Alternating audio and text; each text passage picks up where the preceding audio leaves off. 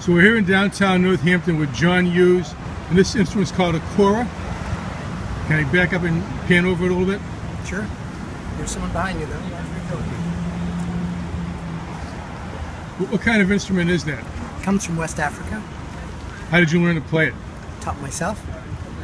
And you've been playing, you say, 17 years? How long did it take to get good at it? Um, still working on that. How many strings does it have? 22. Um, and you come here from Brattleboro, is that right? That's where you live? Mm-hmm. Is it worth the drive here? Some days, yes. Where else do you go when, to play?